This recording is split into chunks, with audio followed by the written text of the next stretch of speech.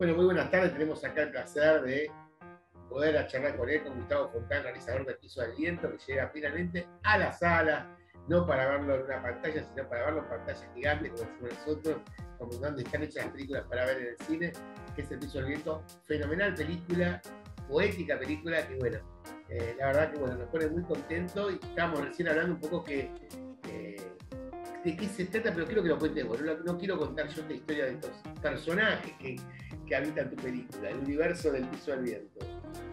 Bueno, gracias Javier por la invitación. El piso del viento es una película que codirigimos con Gloria Peirano. Eh, la idea del piso del viento de la película es una idea de Gloria.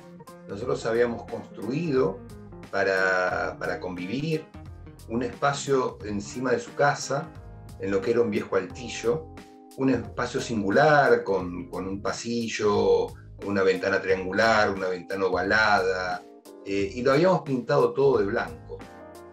Y, Gloria pensó, y este es el origen de la película, qué pasaba si invitábamos un conjunto de personas muy elegidas, muy pensadas, muy sensibles, a que lo recorran y filmar qué era lo que le pasaba con su memoria, a dónde los llevaba ese espacio como una especie de lienzo, a dónde, a, dónde llevaba eh, su, sensibilidad, sus recuerdos, sus emociones. Y ese es el origen, más un conjunto de preguntas que nos hacíamos, ¿no? ¿Qué es habitar? ¿Qué es una casa? ¿Cómo se comparte una casa? Eh, y esto está en el origen de la película y esto es el germen de la película. Eh, preguntas, esto es, interesante señalarlo, preguntas que nos hacíamos antes de la pandemia, porque la película está filmada en 2017. Eh, que, por lo tanto esas preguntas luego de la pandemia se resignificaron y la película adquiere como otra dimensión en torno a esas preguntas por la experiencia terrible que hemos vivido. ¿De dónde salieron estos personajes tan singulares que componen el abanico del de piso del viento? Contarles que son de intriga y que son tan ricos, cada uno en su estilo, de lo que la memoria emotiva los lleva a pensar, de dónde, con qué los conecta esto bajo este, eh, digamos, eh, algo aséptico con el color blanco y con formas geométricas, a dónde le dispara la memoria y con ese ulular esa casa, ¿no es cierto? Todas las personas elegidas son personas conocidas, muchas de ellas no solo conocidas por, Gloria y por mí, digamos, son personas conocidas por mucha gente, porque una de las invitadas es Diana Velesi, la poeta Diana Velesi, o, Lorena Estudillo, que es una cantante excepcional, eh, eh, pero todos eh, les invitadas amigos, amigas, conocidos, que, que, nosotros entendíamos que tenían experiencias muy distintas y una eh, singular eh, eh, capacidad emotiva que creíamos que ese espacio iba a desplegar la riqueza coral que esperábamos, porque la película se, hace con la multiplicación de esas experiencias, que son múltiples, que son diversas, lo que cada cual va recordando, pensando, es muy distinto, desde experiencias infantiles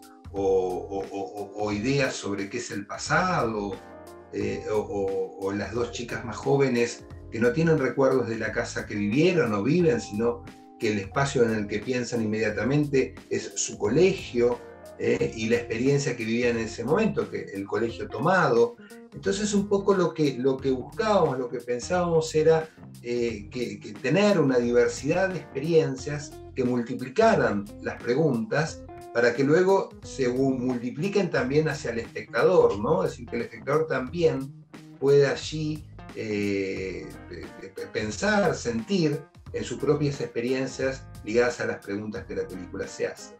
¿Usted está viviendo ahí? Sí, yo estoy acá en este momento. Esto es parte del piso del viento. Ah, buenísimo. Así que les quedó como, como un preámbulo de inauguración todo este arco poético. ¿Y cómo amalgamaron la hora de trabajar eh, María de María? Bueno, eh, eh, eh, en principio tenemos con Gloria una, una sensibilidad muy afín. Esto creo que para, para codirigir es muy importante porque como hay que tomar decisiones eh, muy, pequeñas, muy, muy singulares, sin esa sensibilidad fina es muy distinto. Y luego eh, confiábamos en la posibilidad de volvernos complementarios, es decir, la palabra, la, la, película iba a tener una apuesta muy fuerte en relación a la palabra, los relatos de las personas invitadas y los textos que Gloria escribió para la película. Y el terreno de la palabra para Gloria es un terreno natural. Y luego sabíamos que la película no iba a funcionar si no había además una observación muy minuciosa de los cuerpos, de la luz y en el espacio, y todas esas cosas de la percepción con las que vengo trabajando hace mucho. Entonces la idea era, bueno, ver cómo complementábamos todo eso, eh, no solo entre, entre Gloria y yo, sino con el equipo, digamos, la película se piensa también con un equipo, ¿no? Eh, y, bueno, ese fue el trabajo, un trabajo que nos llevó años, una película se hizo en el tiempo, digamos, que la fuimos haciendo con mucho cuidado, pensando mucho cada etapa, y que estamos felices de estrenarla ahora. Buenísimo. ¿Dónde se va a poder ver, Gustavo, la película? Se va a ver el principio del Cine Gomón, ¿eh? Eh, a partir de este jueves, 10 de febrero, a las 17 horas. Buenísimo. Contame experiencias eh, de filmación, anécdotas que recuerdes del rodaje que quieras compartir con la gente que te, que lo va a escuchar. Bueno, cada persona, cada persona era un mundo y nosotros nos sorprendíamos porque ¿cuál era la, consigna de trabajo? Eh, em, las personas invitadas no conocían el lugar. Es decir, entraban allí por primera vez. Entonces, nosotros sabíamos que teníamos que registrar, Gustavo Esquiafino, que hacía la cámara, que tenía que registrar lo que les pasaba en ese impacto inicial, eh, registrar ese impacto inicial y luego les dábamos un tiempo prolongado en el espacio para ver qué les sucedía. Entonces eh, nos sorprendía a, quienes estábamos allí asistiendo a eso, cómo, cómo, lo humano aparece, ¿no? decir, cómo las experiencias humanas eh, brotan inmediatamente. Y esa experiencia, esa experiencia ese impacto, eh, bueno, para nosotros fue muy, muy, muy fuerte, muy, muy, muy interesante. Eh, y estamos agradecidos porque como que si cada una de esas personas hubiesen donado su sensibilidad para la película, ¿no? Y esa donación eh, tan generosa, eh, bueno, es un acto humano para, nosotros maravilloso. La verdad que la recomendamos fervientemente, hermosa, poética, luminosa, y los personajes también que cohabitan en el universo de El piso del viento. Así que bueno, eh, Gustavo, ¿estás, ¿querés adelantarlo? ¿Cómo estás? ¿Estás trabajando en algún próximo proyecto que quieras compartir con la gente que te está viendo? Bueno, yo tengo dos proyectos atrasados. Atrasado significa que alguno de ellos debería haberse empezado a hacer, pero la pandemia hizo todo muy complicado.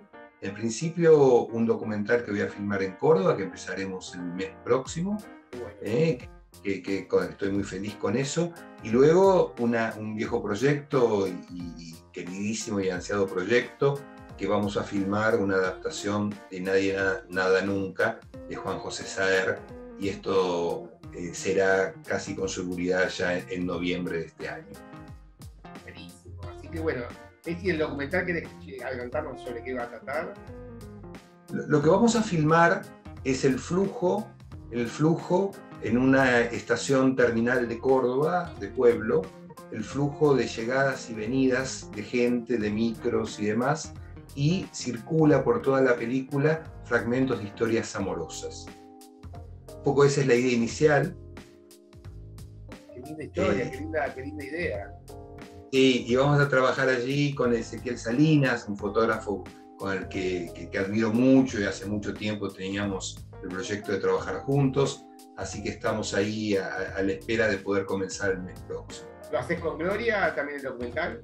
No, no, no, no, no. Gloria está allí, que acaba de salir Miramar, su nueva novela que publicó Alfaguara, y, y, luego en abril sale un, un, nuevo libro colectivo sobre Malvinas, en el que participó, así que tiene muchas actividades literarias Gloria de este año. Buenísimo, le mandamos nuestros cariños, sabemos que bueno, la co-directora también te estoy saliendo con Gustavo Fontal, siempre es lindo conversar con ustedes, les deseamos lo mejor, Invitamos al público a sumarse la primera semana si lo acompañó, que van a vivir una experiencia hermosísima, cálida, poética, se van a transportar a otro mundo y con un personaje increíble y con la poética de Gustavo Fontani y de Gloria Peirano. Te agradecemos infinitamente, Gustavo. Te agradezco a vos, siempre es muy lindo conversar con vos, Javier. Muchas gracias. No, gracias a vos, Gustavo.